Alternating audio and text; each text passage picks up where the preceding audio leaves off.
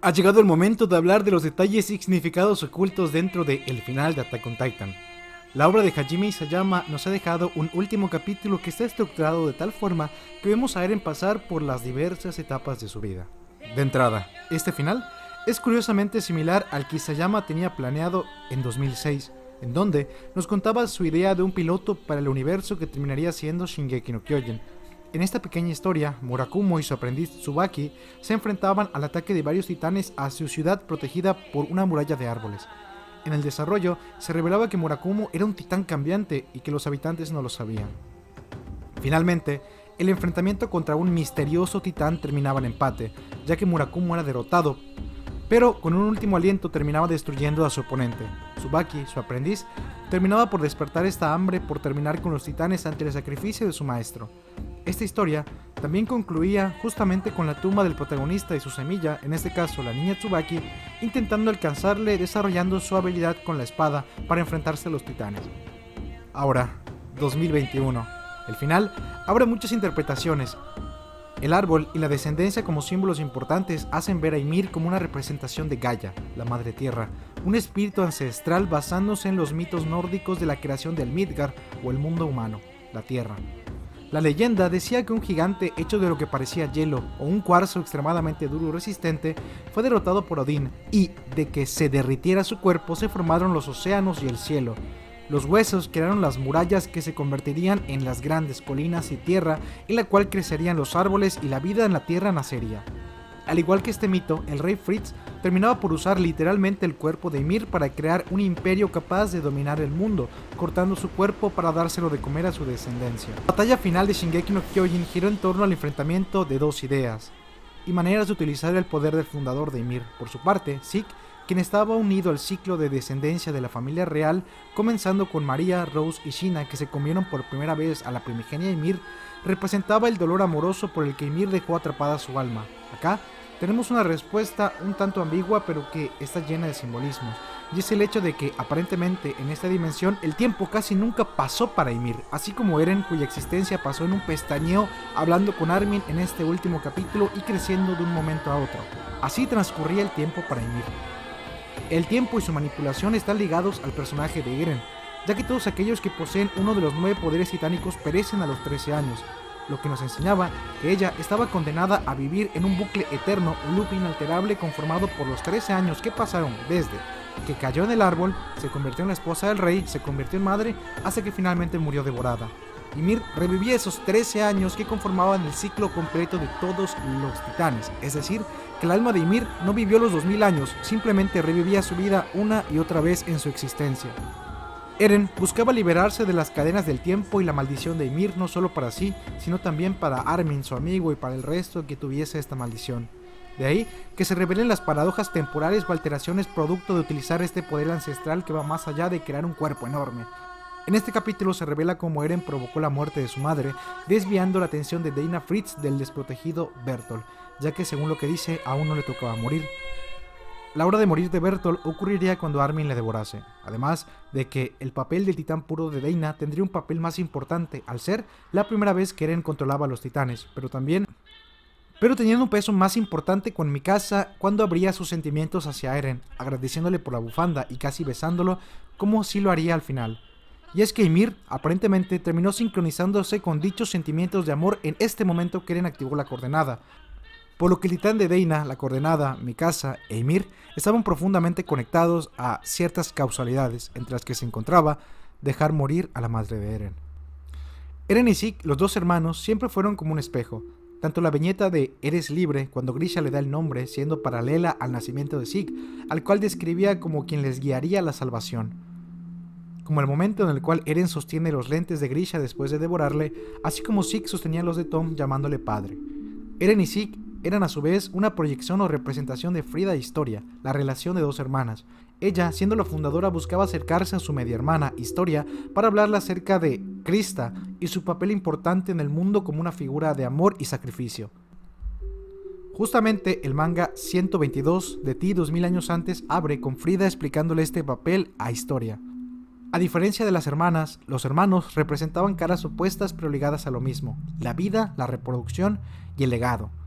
Carla describía que Eren era especial solo porque nació, siendo el impulso más puro de la maternidad y la preservación de la vida, mientras que Zeke quería terminar con su propia vida y la de todos los eldianos, producto de una historia difícil desde su madre, siendo parte de un linaje oculto que sufrió todo el pacto de renuncia a la batalla y la gran guerra de los titanes hasta un simbolismo poco sutil en el que, estando tirado descuartizado como Ymir ante sus hijas antes de que lo devoren, un titán se acercaba para guardar a Zeke en su vientre, casi obligada por el poder de los titanes y los instintos de Ymir de cuidar a su descendencia, los cuales, aparentemente describe Eren, son provocados por el amor que sentía por el rey Fritz al convertirse en madre. Eren, encadenado en la cueva de los reyes, demostraba un profundo horror y culpa solo por existir, enseñando los reflejos de cómo manipular el tiempo, el pasado y el futuro estaban afectándole a pesar de que en ese momento no lo sabía. Ya que Historia Reyes estuvo ligada a que él pueda desbloquear gran parte de todos los recuerdos y habilidades del titán de ataque de ver el futuro.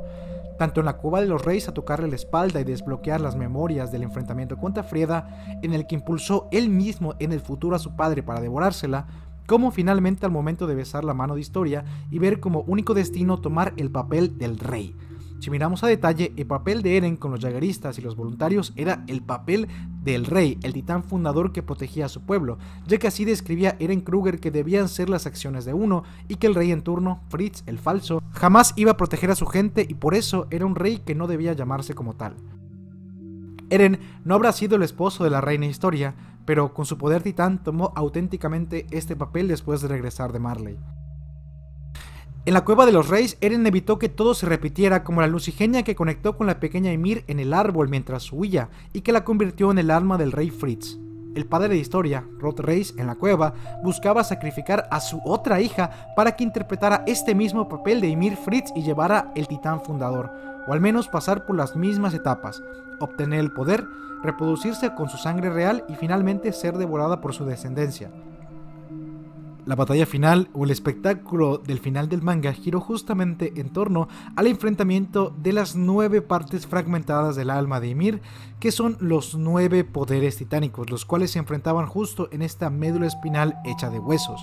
Eren lo que buscaba era no solo salvar historia, sino retirar todas las partes del alma de Ymir de los demás, de Reiner, de Pik, de Annie, de Armin, todos para salvarle de ese reloj de arena en el cual Ymir habitaba arena de la cual creaba los huesos, carne y memorias de los usuarios, para liberar a todos de ese reloj que iba a terminar a los 13 años.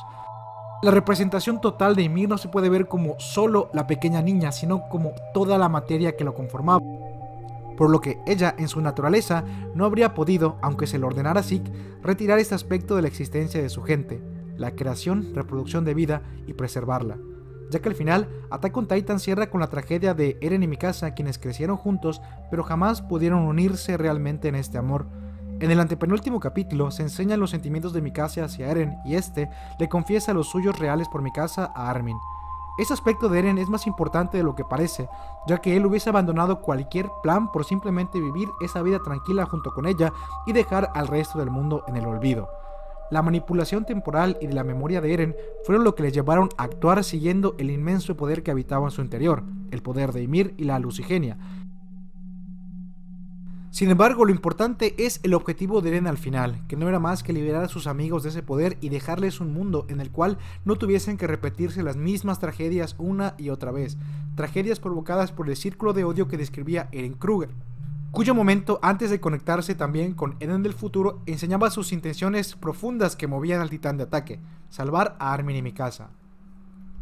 Una interpretación personal es que el final del prólogo es historia cargando la reencarnación del alma liberada de Ymir, la cual estuvo 2000 años repitiendo el mismo ciclo de 13 años que iba precisamente a vivir historia si seguía los deseos de su padre Rod, hasta que finalmente se liberó a través de Eren. Él, como un símbolo de liberar al mundo, ha dejado una semilla para luchar y conseguir la verdadera paz. Que la vida del imperio aldeano y todos los que nazcan en este mundo, en este imperio, va a tener un propósito que nadie va a poder negar, así como él lo describía cuando tapaba la puerta de Trost. La naturaleza pesimista y destructiva de Eren hacia la humanidad, cómo terminaría por destruir todo para convertirse en el demonio para el mundo y el dios para su pueblo. Un dios, un rey, que no será un secreto oculto que no proteja a su gente, no será un dios escondido para una familia rica que simplemente lo mantendría oculto como un pacto de rendición ante el mundo. el poder del fundador ha decidido existir, seguir hasta adelante y luchar a través de su portador Eren. Sí, sí, sí, mucho Dios, mucho Dios, pero tremendo golpe que le metió Armin, ¿eh? Bueno, el punto es también explorar que en el final la personalidad de Eren no desapareció con el poder del fundador, pero al momento de sostener todas estas habilidades, el tiempo, la materia, todo terminó modificando las acciones del Eren físico, el cual era simplemente un contenedor de su personalidad y que compartía con este poder inmenso de un dios. Al final, Eren era un reflejo de los sentimientos de sus padres, el de Carla por la maternidad pura de tenerlo solo porque quería amarlo y cargarlo, su padre porque quería darle un mundo libre. Esos sentimientos son los que terminan aflorando por Eren, el cual no es más que un chico como tú y como yo, un hombre que quizás busque su alma gemela, quizás busque la liberación del mundo, salvar a la humanidad, hacer algo con su vida, no desperdiciarla. Todo menos desperdiciarla.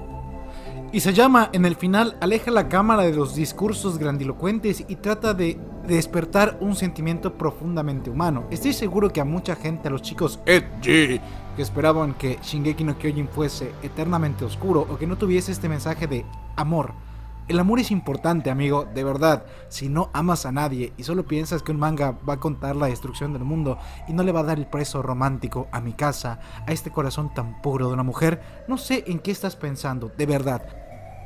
El final es claramente agridulce, cambiando el tono con el cual nos enamoramos de la serie y los grandes momentos épicos que son representados con la despedida de la Legión de Reconocimiento, con Erwin, Hanji, el Escuadrón de Levi, todos despidiéndose del gran capitán, el favorito de todos, que de hecho, durante todos los años que llevo comentando en YouTube, los 5 años, mes a mes, me llegaban comentarios de Levi va a morir, Levi va a morir, y casualmente Levi fue el único que terminó vivo. Entrega tu corazón por Levi. De verdad, no es broma. Durante los 5 años que hice videos, todos los meses, todos los días me preguntaban, Levi va a morir, Levi va a morir, y no murió. De hecho, nos quedamos con el nudo en la garganta cuando explotaba la carroza de sí que pensamos que finalmente, pues no, al final no, Levi siguió vivo hasta el final por lo que los sentimientos son una apuesta de Isayama de contar una tragedia llena de matices y sentimientos profundamente humanos a nosotros. No nos va a contar algo que no podamos experimentar o sentir, como lo es la destrucción del mundo o la salvación de este mismo. El final no trata de llegar a esa gran escala como la cual fue el enfrentamiento de los nueve titanes que eran aparecían todos y era un enfrentamiento bombástico lleno de acción y muchos modelos de titanes diferentes y estaba lleno de acción a los shonen, de verdad fue un regalo. Ahora nos toca hablar acerca de la humanidad a una escala un poco más personal. Como mi casa debajo de un árbol cuidando la tumba de Eren mientras él es un espíritu libre. No está encerrado debajo de esa lápida y la sombra de ese árbol. No es un mensaje pesimista, dado que al principio mi casa afrontaba la pérdida de Eren en el arco de Trost, y mencionaba que para ella recordar a Eren era un impulso para vivir cuando antes se había rendido ante un titán y el hecho de que Eren se acerque tan formado comenzó a despertar estos sentimientos de luchar y afrontar y hacerle frente a todo. El mensaje de final es que indudablemente podríamos terminar unidos a otra persona, que ese lazo rojo de la mitología japonesa, que es representado con la bufanda que al final el ave pica representando los sentimientos de Eren de que se la va a poner todas las veces que sean necesarias, es una representación de que nosotros podemos sentir esa gran cantidad de amor colosal. Un poco romántico, la verdad, un poco nos venimos arriba con el romance. Es un mensaje hermoso también de amistad hacia Armin y Eren. Hacia ese momento en el que abrimos el capítulo donde parecía un espejo donde Armin le enseñaba el libro de sus padres que hablaba acerca del mundo exterior. El libro podía representar claramente la obra en sí y cómo imaginábamos el mundo posapocalíptico, todas las millones de teorías que armamos, que yo armé personalmente y que algunos de ustedes escucharon. Todo esto es un espejo muy interesante acerca de cómo afrontamos la obra. Eren ahora, como un mensaje de amistad y una acción enorme de amistad, ha dejado un mundo libre para que su amigo también pueda explorar y conocer, que pueda vivir su sueño de libertad. A lo largo de la serie, los personajes morían de mil maneras horribles. De hecho, cuando Eren es devorado por primera vez, el ambiente es crudo. Y Sayama, en 2013, describía que lo hizo de esta manera para que sea intencionalmente impactante, ya que dudaba que la obra llegase a publicar más de un volumen. Por lo que quería representar ese aspecto cruel del mundo. La muerte es presentada como algo terrible y poderoso de lo cual no se puede huir. Sin embargo, cuando Mikasa corta la cabeza de Eren, Isayama cierra su obra con otra visión de la muerte, con algo ligado al tiempo, algo profundamente vivo y eterno, el alma. la redención del género humano de pasar de sus instintos crueles y conquistadores ligados a la reproducción y levantar una civilización como lo era el rey Fritz, hasta finalmente llegar a una forma de pensar más compleja y cálida como la de Eren, casi casi como un niño preocupado por la niña que le gusta, casa cuando Armin obliga a Eren a sacar esa parte suya y real. O sea, vean cómo Falco y Eren estaban conectados. Cuando dicen, no quiero que mi casa esté con nadie más, al menos en 10 años, es similar en intensidad a lo que le dice Falco directamente a Gaby de me quiero casar contigo, quiero que tengamos una larga vida y por eso no puedes heredar al blindado. Justo cuando estaban platicando en Marley, en el hospital, Eren le pregunta a Falco de que si ese candidato a guerrero del cual se preocupa tanto y quien le interesa es una niña, demostrando que entendía esos sentimientos de interés romántico. Los sentimientos de la Mikasa melancólica recordando el amor que sintió por Eren es descrito por la canción Call Your Name de Hiroyuki Sawano, con la que el cierre de esta obra junto con la letra, esto es lo que ha conformado una obra maestra humana y profunda. Ya lo decía él en la inauguración de su estatua natal, Ita. Shingeki no Kyojin no es la historia de todos los titanes o su origen o de la propia Ymir. Es la historia de Eren, Armin y Mikasa encontrándose con ese mundo, por lo que esa es la intención del autor, contar esa parte de su obra. Este final tiene la intención de ser una emoción poderosa ante la muerte y lo horroroso y lo bello que ha sido para Eren nacer en este mundo, un mundo ahora libre. Ahora, personalmente, si me gustó el final, el final me ha dejado así como roto. Yo creo que una manera de describirlo es que yo no soy tanto de, ah, esto me gustó o no me gustó. Sino de que, por ejemplo, yo siento que ha sido como un final, un final con una pizza con piña. O sea, hay gente a la cual odia la piña y vieron el final y el final tenía piña y dijeron, no me gusta el final, Kakashi. No, es que no, es que yo no como piña en la pizza, Kakashi. Y yo así, hombre, inténtalo. Por algo tiene, tiene muchas cosas, pero tiene piña. Al final tiene piña porque pues bueno, la piña es dulce, ¿no? Entonces pues yo siento que fue algo, algo así, ¿no? Algo así que pasó. Pero yo personalmente lo sentí así como de, te vas a morir y tu canal va a ser tu lápida, bro.